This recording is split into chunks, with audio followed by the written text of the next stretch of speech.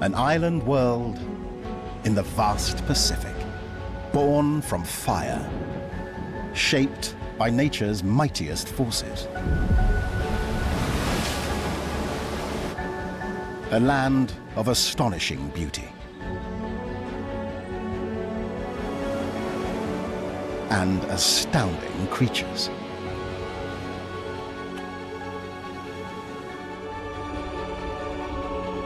Creatures which are sometimes blessed by the island's abundance. And at other times must fight for resources.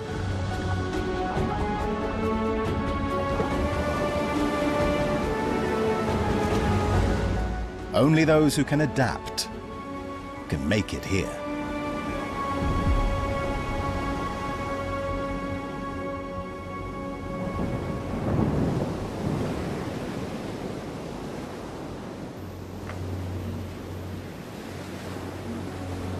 Marine iguana, a fierce-looking resident of the Galapagos Islands.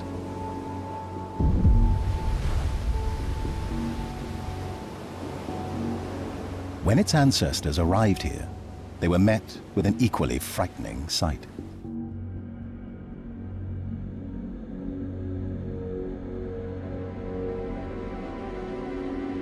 The first glimpse of the islands is anything but inviting.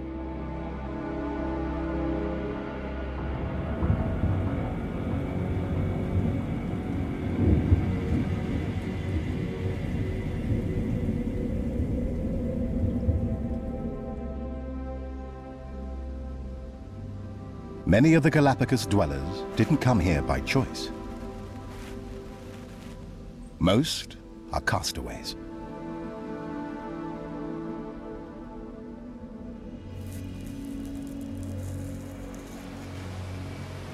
Tossed here by storms and strong currents.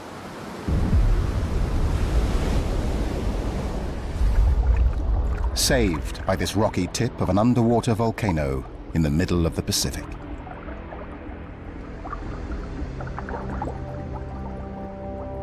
The Galapagos Islands lie around 600 miles off the South American coast, almost on the equator.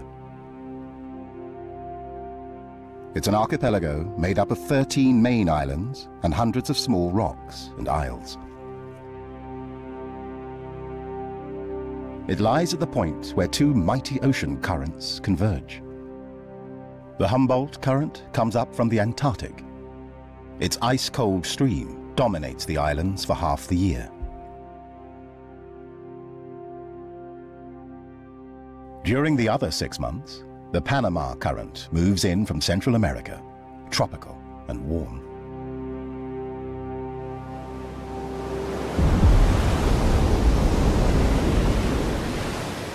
This current brought the ancestors of the marine iguana to the Galapagos Islands from the mainland millions of years ago.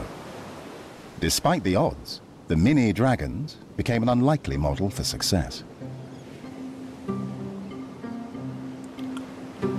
The prehistoric-looking creatures live only here.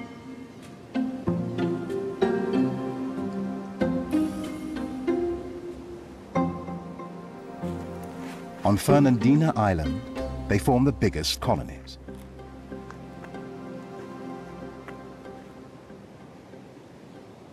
But their road to becoming super lizards has been rocky. Their ancestors first had to learn where to find food. These barren volcanic islands had no plants. The lizards had to think outside the rocks.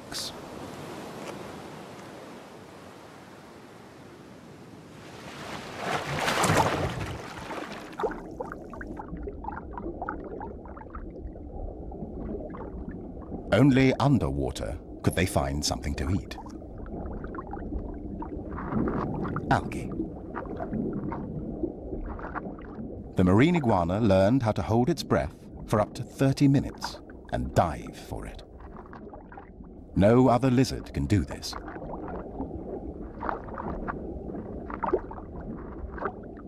But now the Panama Current is stirring up trouble. The iguanas eat only green algae, and they've overgrazed. The warm current blocks the denser cold water from bringing crucial minerals and nutrients up from the ocean depths. It turns the garden into an underwater desert. The iguanas aren't the only ones in this Panama predicament. Almost all the inhabitants suffer through this lean season. Those who can migrate.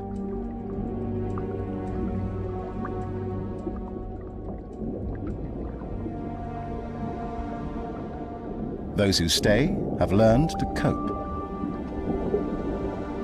They don't depend on algae, but other microorganisms. For the next months, a rainbow of tropical fish adds local color to the reef.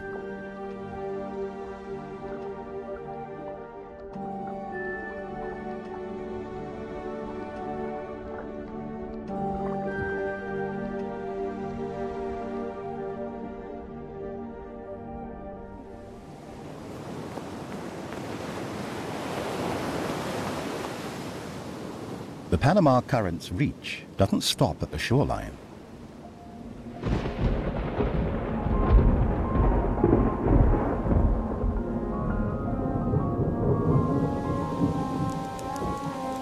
It plants a wet kiss on the face of the islands.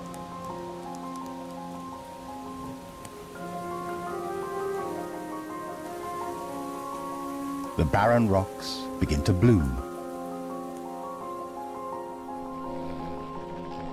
to the delight of the Galapagos carpenter bees.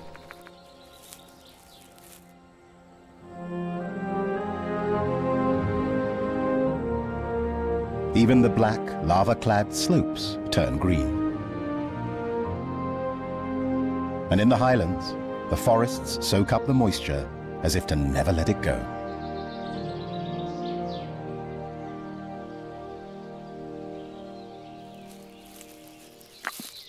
The Galapagos giant tortoise knows that once the Humboldt current comes, this abundance will end. Until that day, there's only one thing to do. Eat like crazy.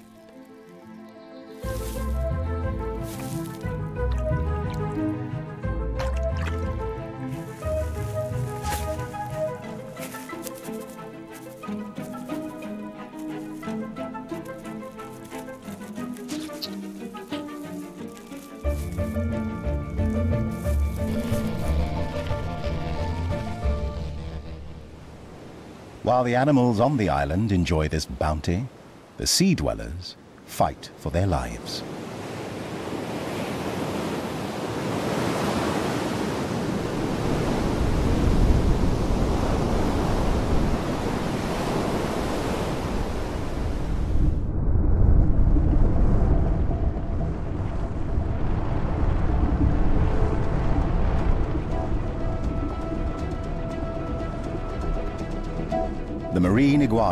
Scrambling over the rocks to find his meager meal, must battle against the rising current. He uses all his strength just to stay in place as the water surges around him.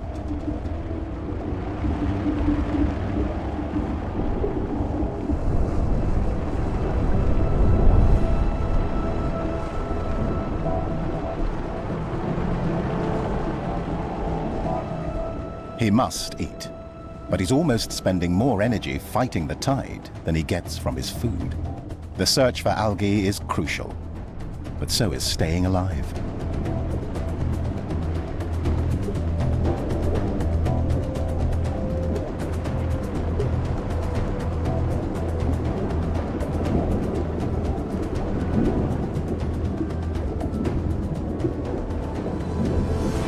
His strength is failing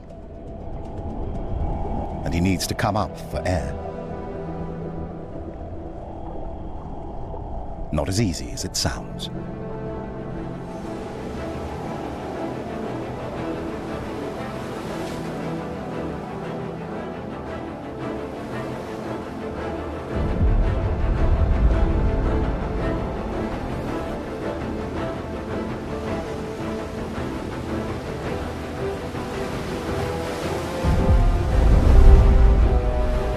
Fighting the surf takes every last ounce of effort.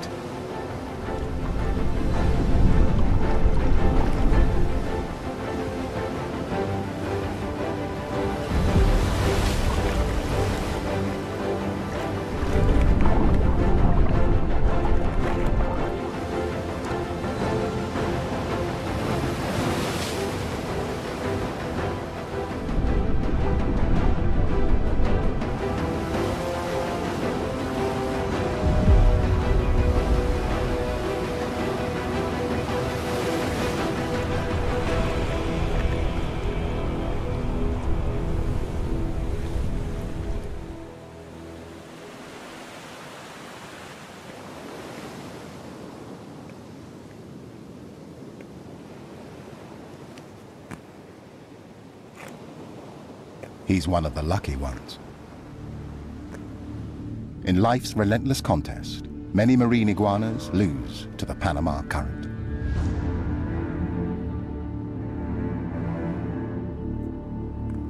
This survivor needs to rest.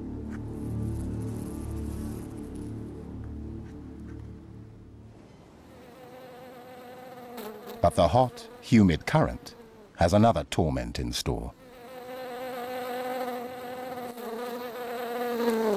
Flies.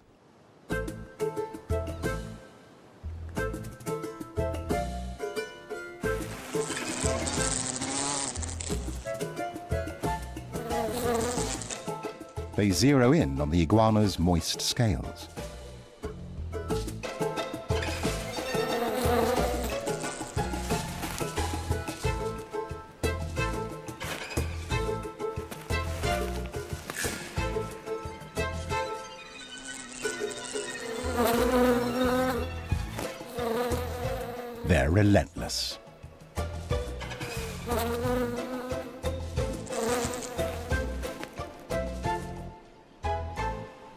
But the marine iguanas have an ally.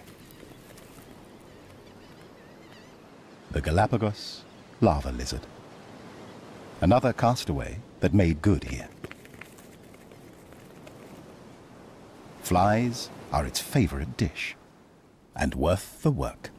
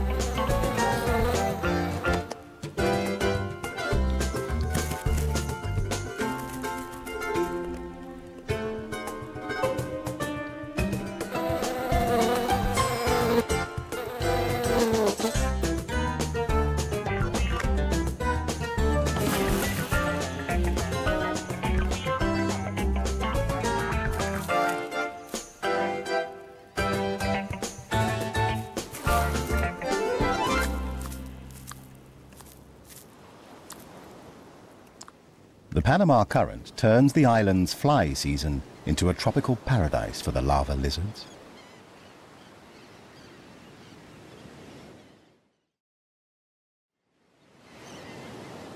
But paradise doesn't last.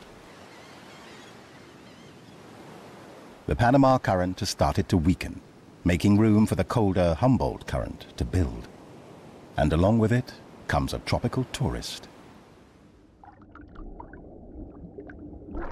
The green turtle. An algae eater as well. She has travelled over 600 miles to dine here. But it's a bit too early. The only algae here is on her shell.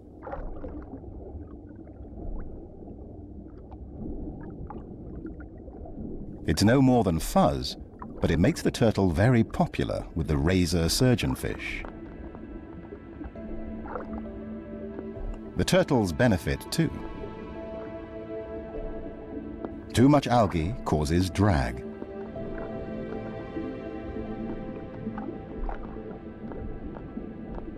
Once the surgeonfish have mowed the lawn, another specialist steps in. King angelfish come to gobble up parasites and small crustaceans that cannot hide anymore among the stripped down algae.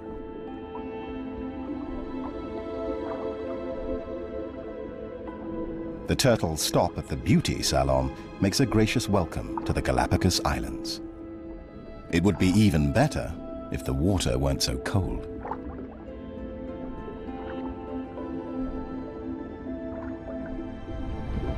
Despite the Panama Current's warm water, competing currents and winds keep the ocean around the Galapagos cooler than anywhere else on the equator.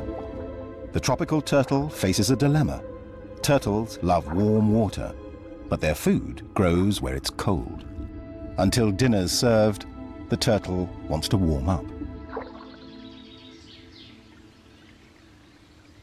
She ends her long annual journey at a curious place near the shore of Fernandina Island.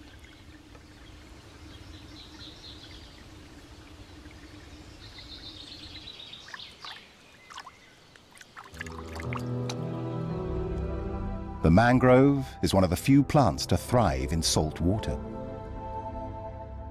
Its roots draw nutrients from the water and filter up to 90% of the salt. But that's not what appeals to the chilly turtle, taking a break from the high seas.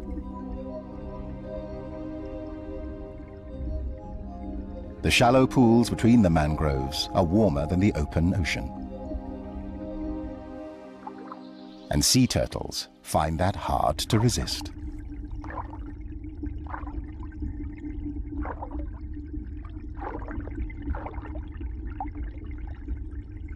Once they get there, they aren't picky. In their hypothermic state, many just sink to the bottom and rest. Those who still have energy look for a grotto under the roots. Or just lean against them. The main thing is to get warm. They camp out, waiting for the Galapagos algae to grow, so they can get first crack at it.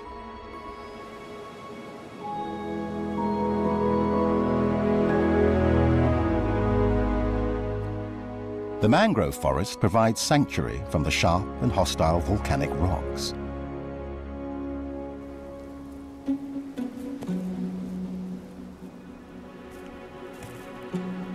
And where it reaches the ocean, a sharp-eyed predator is on the hunt. The Galapagos lava heron. The shorebird usually sticks to the mangroves, though sometimes he likes to step out for a little variety.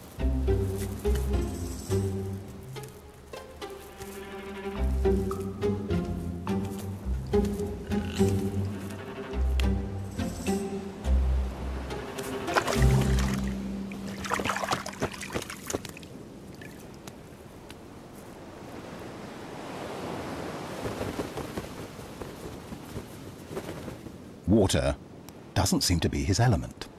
He avoids getting wet and looks for other prey. The crabs look good today.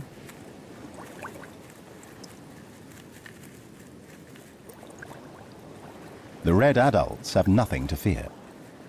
But it's a different story for the tender young ones. Against the rocks, they're hard to spot, as long as they don't move.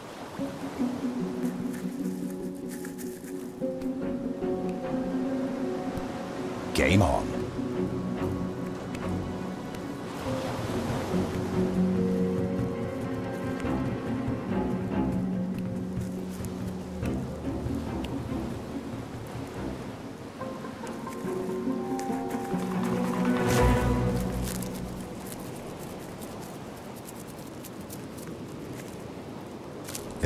delicious, shells and all.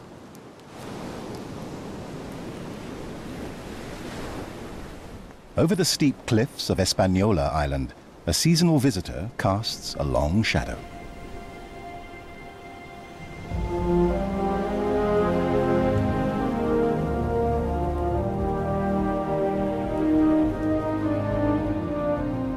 The waved albatross, the island's largest bird.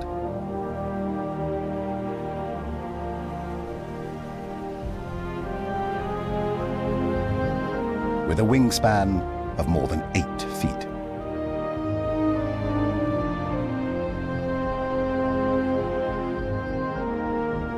Once a year, these graceful gliders converge off the coast of the secluded island, about the size of Rochester, New York. The oldest of the Galapagos Islands will become the meeting place for 20,000 albatrosses in the coming weeks. Like his brethren, this male has come to raise his young.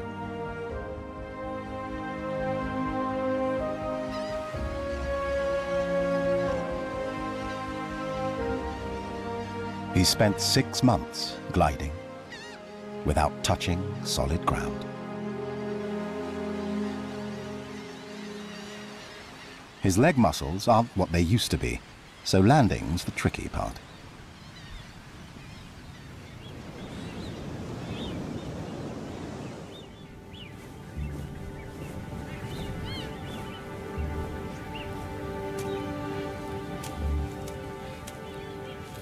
Walking takes some getting used to.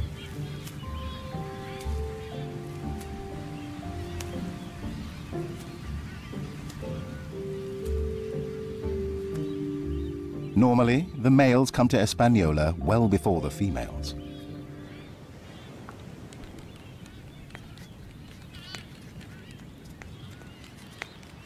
He's late. Most of the couples have already found one another. Albatrosses mate for life, up to 30 years, and he knows his partner is waiting. But where is she?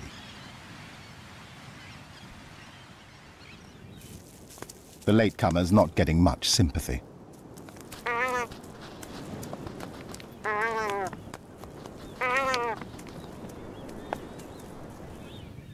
But he persists.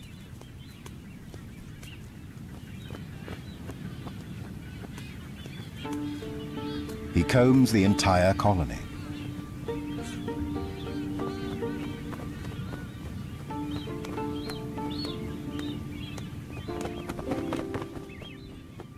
Has something happened to her?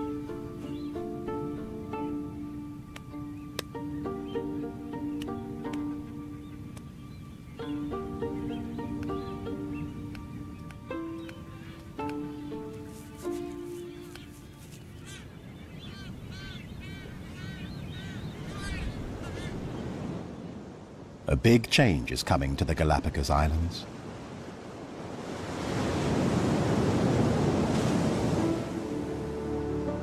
As the Humboldt Current gathers more strength. Its chilly fingers reach into the mangrove forest and tap the sea turtle into action. She spent the last few weeks munching mangrove roots. Now the ocean calls.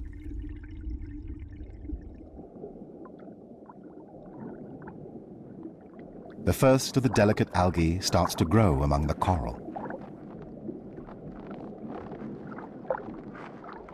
It thrives here like almost nowhere else in the tropical Pacific. Thanks to the cool Humboldt Current. The luscious cold buffet motivates the turtle to make an exhausting journey. It's worth braving the shivering temperatures.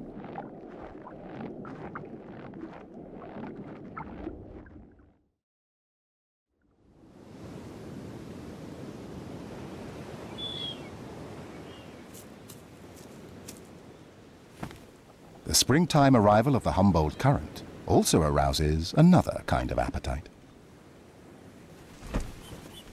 This young blue-footed booby has come to Espanola looking for a mate. It's his first time.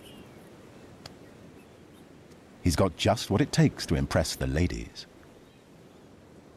Blue feet.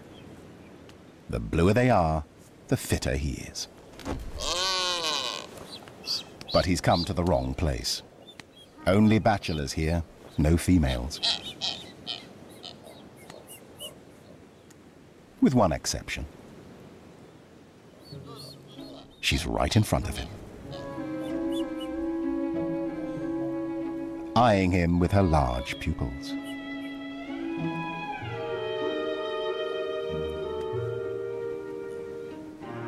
Her mate's also got his eye on him, and for good reason. Unlike albatrosses, boobies aren't loyal. Bachelor starts his seduction. It's working. She can't stop looking at his sexy blue feet. Her partner's only seeing red. They argue. And the bachelor makes his bold move.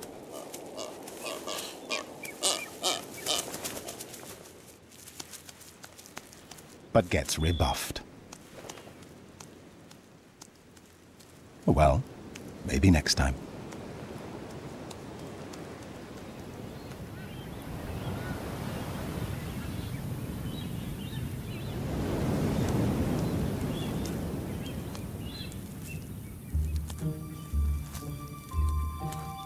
The male albatross is still looking for his mate.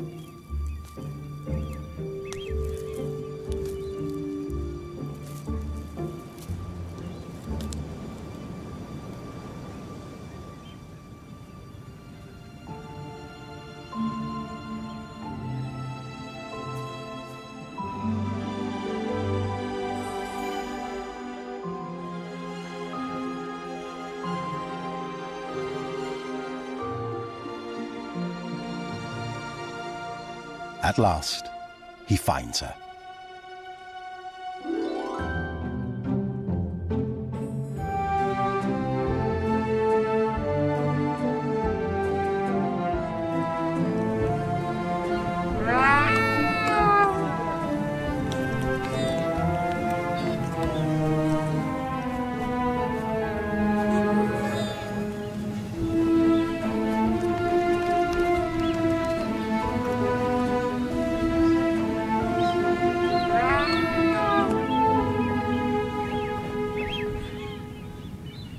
So late in the season, will they have enough time to raise a chick?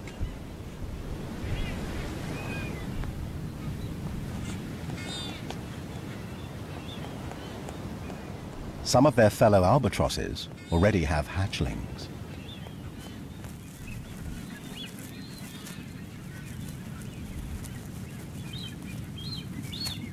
From egg to chick takes about two months.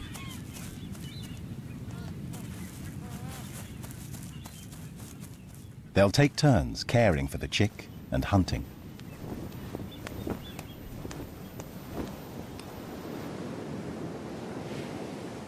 Unlike other seabirds, albatrosses fish far out on the ocean and are often away for weeks.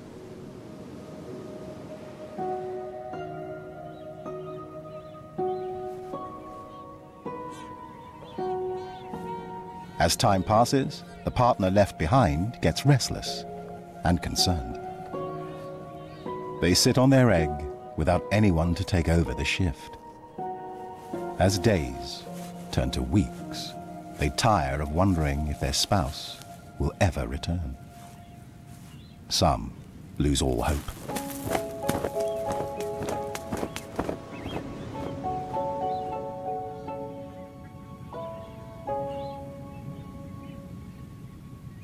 And that is precisely what this fellow's been waiting for.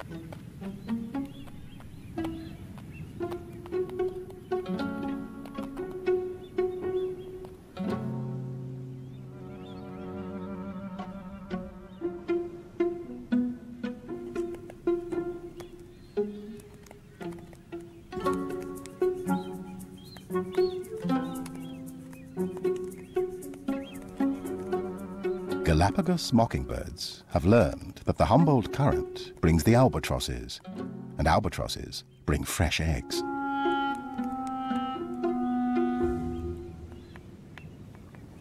The situation is serious for the straggling pair. Not only are they behind schedule, but the Galapagos mockingbirds are getting more bold.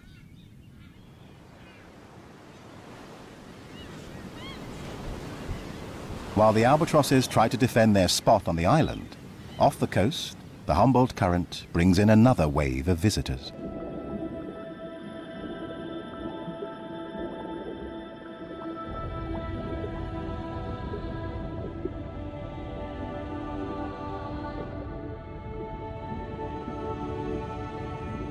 The scalloped hammerhead.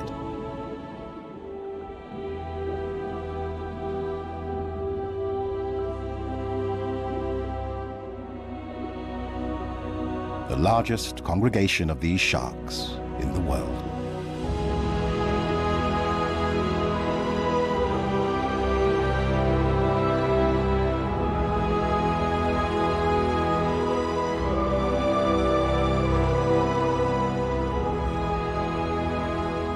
They've come to mate. By the hundreds, females gather in the middle of the group, while the males stay on the edges.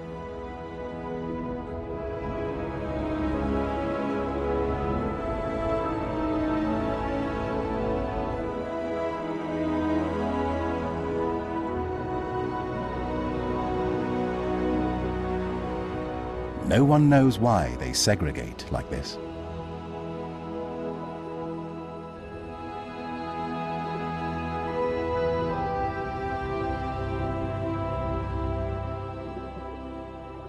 But after they mate, and before they disperse, there's one more thing to do. They head to nearby reefs to clean up. The females have small wounds around their gills. Love bites, made by the males getting a grip during their encounter. The wounds need cleansing.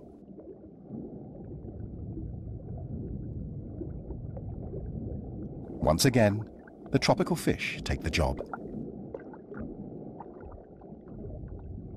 The sharks tilt their bodies to show they're ready.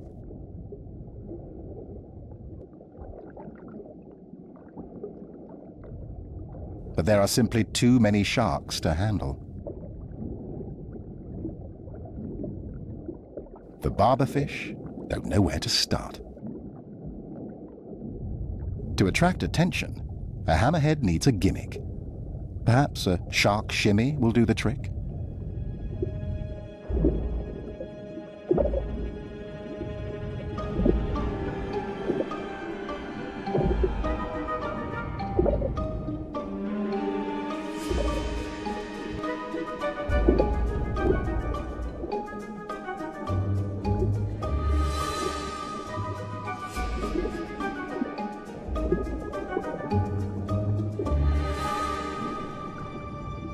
Despite the fancy fin work, only a few lucky sharks get selected.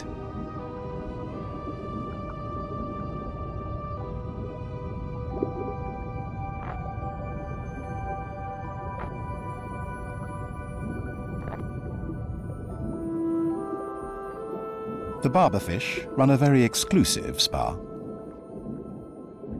And the hammerheads need to wait their turn.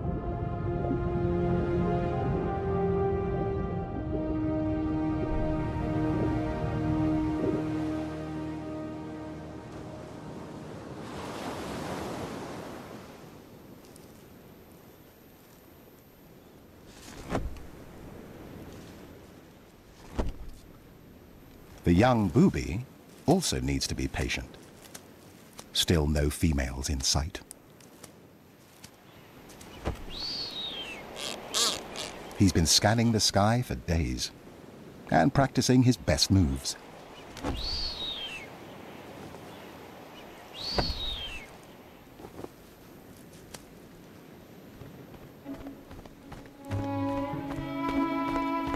At last, here's his chance.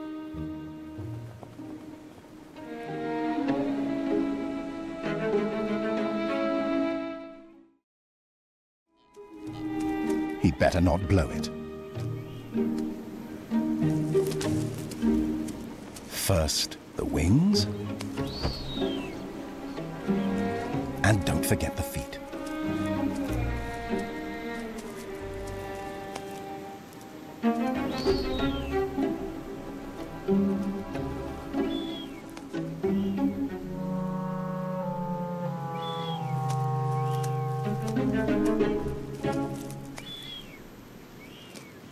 She's underwhelmed.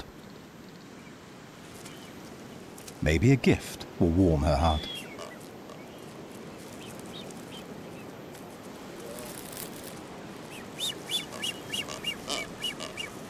She's holding out for something better.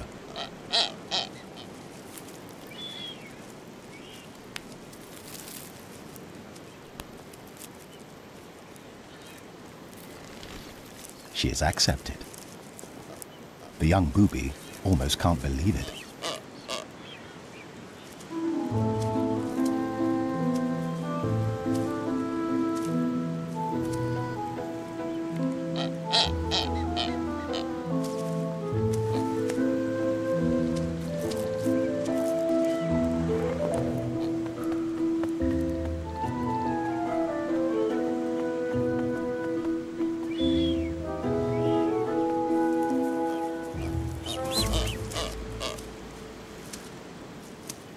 Mission accomplished.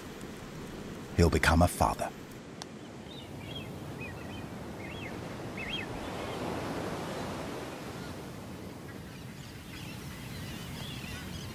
The late starting albatross pair has mated too.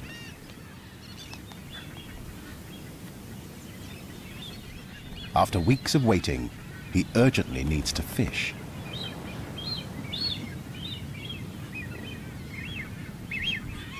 No time for romantic goodbyes.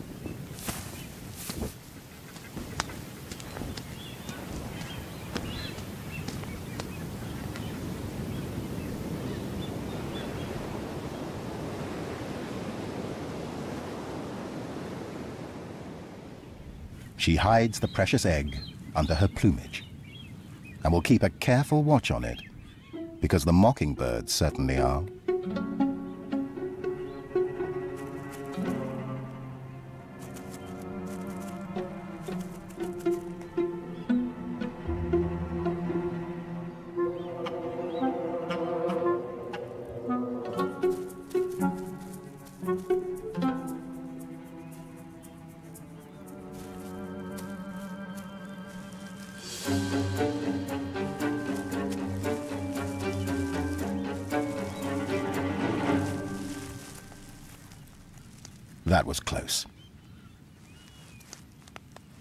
As she waits for her partner, out in the ocean, a drastic sea change. The Humboldt current is back in full force.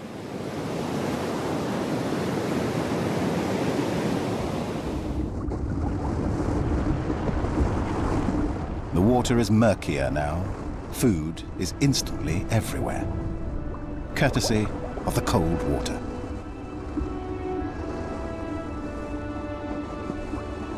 Bringing with it schools of fish.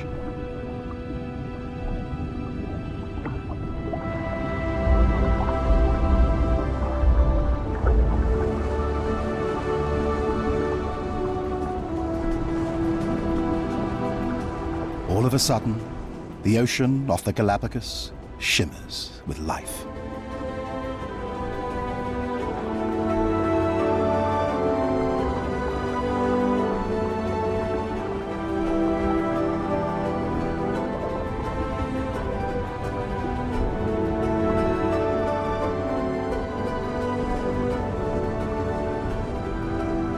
Chilly, nutrient-rich water feeds the multitudes.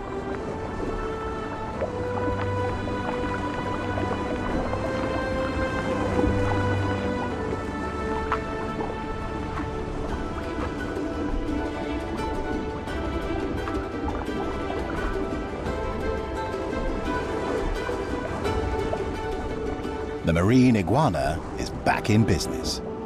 No more death-defying dives into the surf just to get a bite of lunch.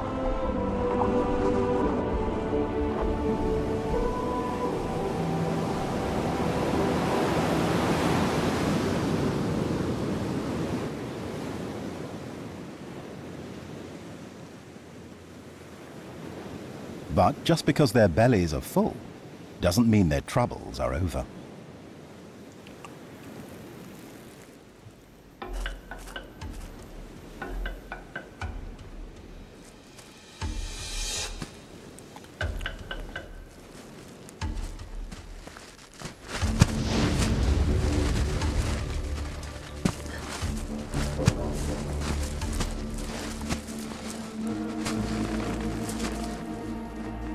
For the males, feeding leads to fighting. Like sumo wrestlers, they test their strength in the ring. The winner gains a little turf and the right to mate.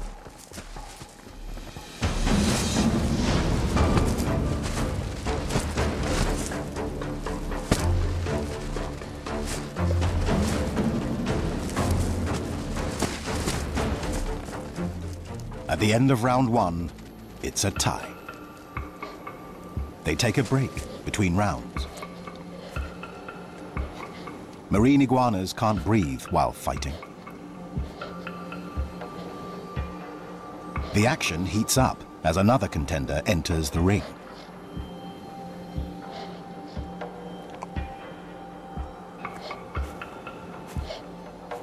This is his big break.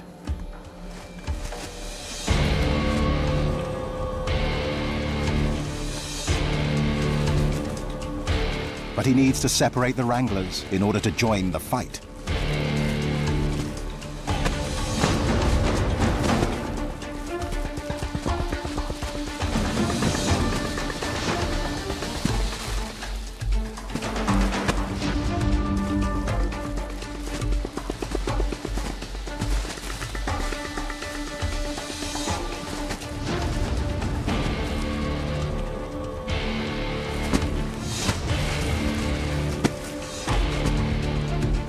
Bantamweight brawler doesn't have what it takes. The others are just too strong. He throws in the towel.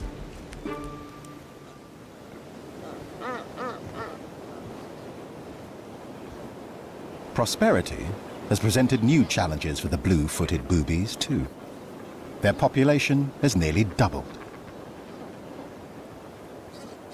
The young are thriving. Some have only just hatched, while others test their wings for the first flight.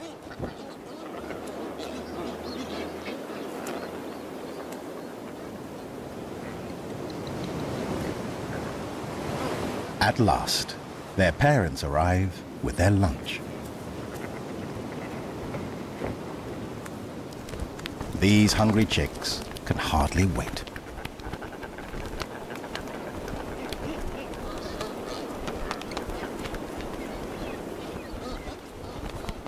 But here comes trouble.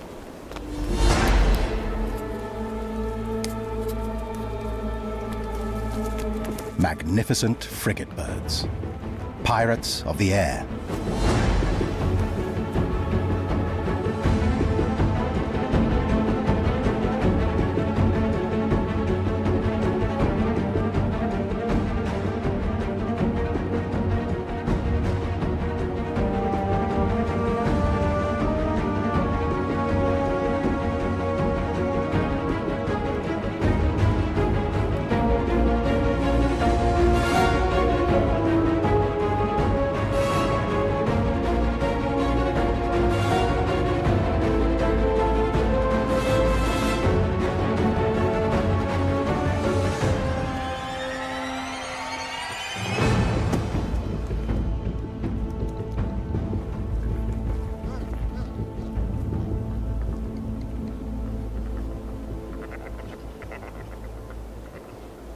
On land and sea, these aggressive, agile flyers rarely fish for themselves. So frigate birds prefer to steal.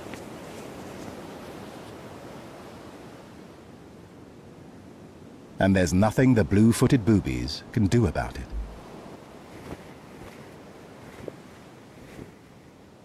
Except catch more fish in the generous Humboldt current.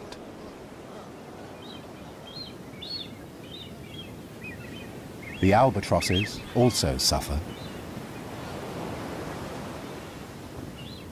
With all the food thieves on the island, it's a wonder the chicks get anything to eat at all.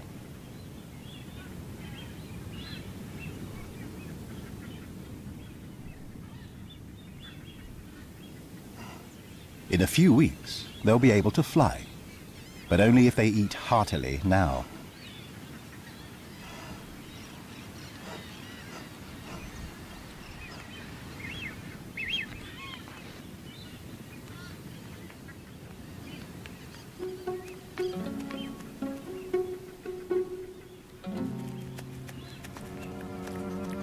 On Española, the albatross parents have pesky mockingbirds to contend with.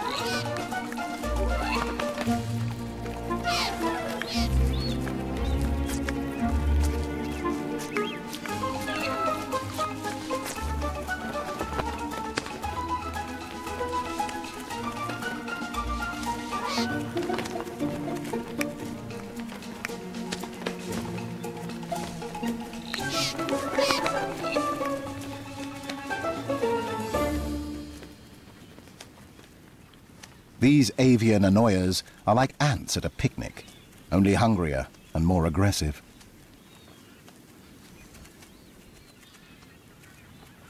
They rely almost completely on the albatrosses for their food.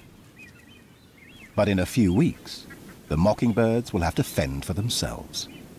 The albatrosses will take to the air and spend the next six months out in the ocean. With one exception.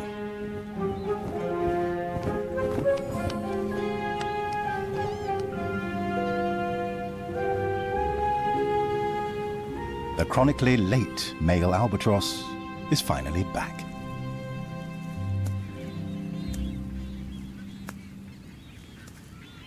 He was out hunting for days and hasn't seen his partner.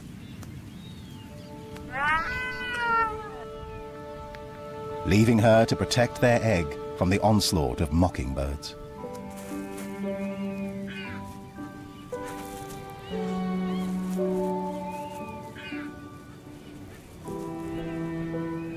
All their efforts have paid off.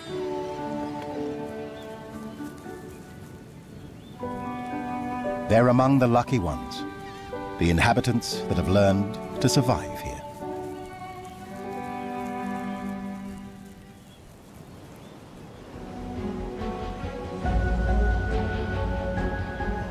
On the Galapagos Islands, life ebbs and flows in the crossroads of relentless ocean currents.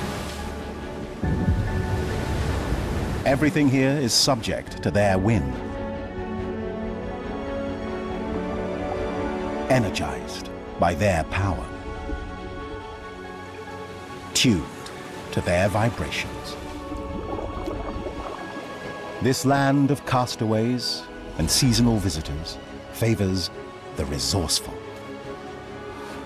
It rewards the ones who can thrive by surrendering to, and sometimes challenging, the moody tide. That's life on the Galapagos, an enchanted world under the spell of the ocean current.